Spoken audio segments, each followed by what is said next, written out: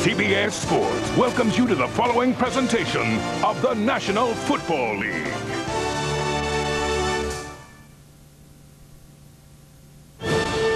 It's been 30 years since the fans of New York City were swept up by one of the great upsets in football history. Joe Namath and the New York Jets victorious in Super Bowl III. Bill Parcells earned his place among New York football legends by winning two titles as head coach of the Giants. He's back in New York, this time as head coach of the New York Jets. Answering the prayers of their fans, the Jets captured the AFC East title and have positioned themselves for a run at a second Super Bowl. Jacksonville head coach Tom Coughlin is a Bill Parcells disciple, his fiery style reminiscent of his mentor. He's also tasted success as a head coach. He took over the Jaguars in 95. One year later, had them in the AFC Championship game after stunning upsets in Buffalo and in Denver. Now the Jags are back in the playoffs for the third straight year. A first-round victory last week over New England has put the Jags one game away from the AFC title game and two wins away from the Super Bowl.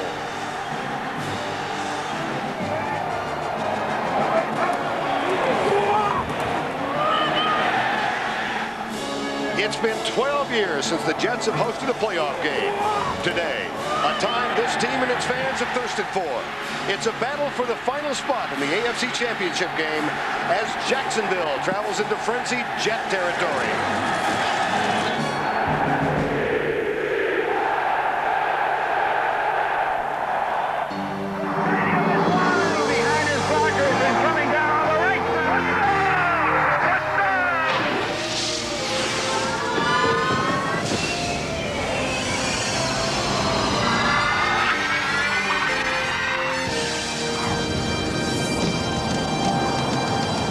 CBS coverage of the AFC Divisional Championships continues this afternoon from the Meadowlands in New Jersey.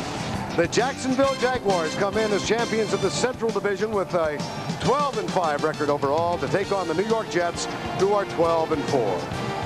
Good afternoon, everybody. I'm Verne Lundquist along with Randy Cross. Welcome to the Meadowlands and the continuation of a remarkable Jet story. 1 and 15 two years ago, division champions for the first time since the merger this year. And Randy, any number of uh, feel-good stories this year, none more prominent than Vinny Testaverde and his quarterback play for the Jets. And when I think of Vinny Testaverde, I think of poise and confidence in 1998.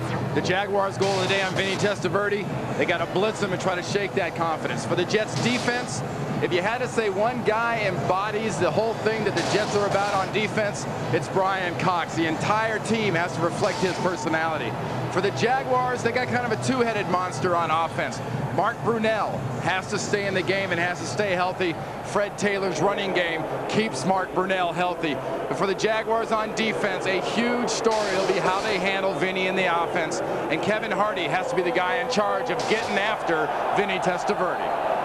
Jets in the playoffs for the first time since 91, first time at home since 1986. We'll be back